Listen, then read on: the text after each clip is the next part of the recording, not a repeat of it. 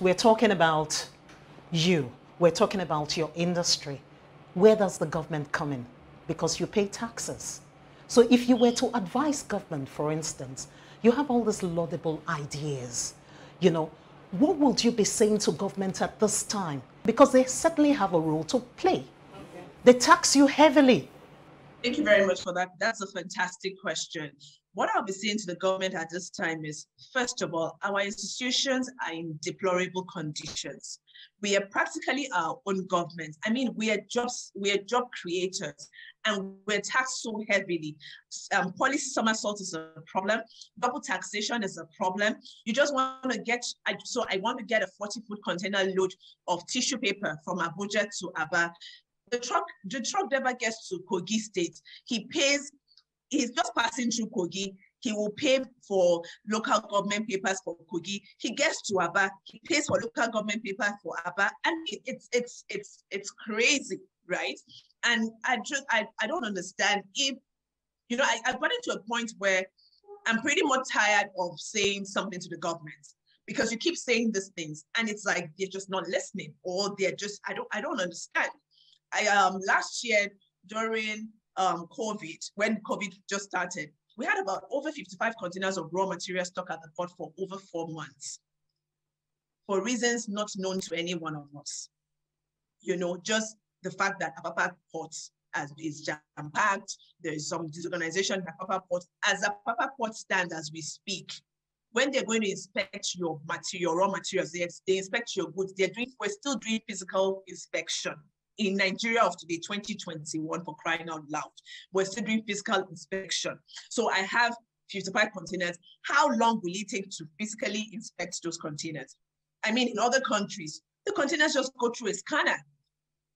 So we, we need infrastructure is important. We can't we can't overemphasize the need for our government to invest in infrastructure. There are a lot of things that I have to say to the government, but I've gotten to a point where I'm I'm actually tired of speaking to the government because I think they see these things. They travel for crying out loud. They're exposed. They see these things in other countries.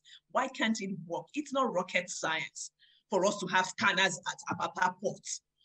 Apart from Apapa ports, can other ports start working efficiently? In an economy like this of that is of Nigeria, where factors of production such as power supply is absolutely frustrating. Companies like Cadbury, PZ at a, at a time had to, re, as in they relocated their production facility to Ghana and neighboring uh, countries. So as a manufacturer and a CEO of uh, your organization, have you been thriving, you know, in the midst of all the, you know, there's no power supply, you know, and you have over 300 people to to pay salaries to monthly. So I, so I, I think what I will say is, first off, believe it or not, we're losing money. We've been losing money, you know, for the past um, two, three years now. Um, but I will say what has kept us, you know, as a company is that from day one, we've been very conservative. Con conservative in terms of our spending, conservative in terms of our running, running the business generally. Um, we're even conservative with hiring. You know, if I say we have 300 people, um, this is a factory that runs two shifts, morning and night. You can't see anyone just lying idle. So it's a place where you have one person doing a job of two, three people. What I would say has kept us is the fact that we um, we've enjoyed, we've also enjoyed some form of um, growth. You know, um, we started very, very, very, very basic. We started just, you know, very conservative as well. And we took it in our strides. It wasn't like we felt, okay, you know, it's a manufacturing company and just go hula baloo and employ 300 people. We didn't start with 300 people. The manufacturing arm is 14 years going. We started with 35 people. So, but we're very conservative in terms of hiring, in terms of spending. There's another challenge that I see that entrepreneurs face, and that is maintaining standard. Um, how, how does that happen? How do you grapple with maintaining mm. standard?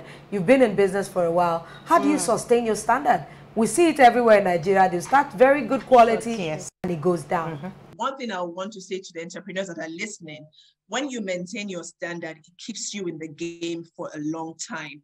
Even when it is hard. So no matter how difficult it is, what you just highlighted now, Lolo, people need to know that whatever it will take from the, for them, let them know that they have to maintain their standard. Now, the challenges of maintaining standards is, so in case your suppliers change, you know, um, their products or they have issues. At the moment, I just got news from one of our secondary suppliers that they've run out of material.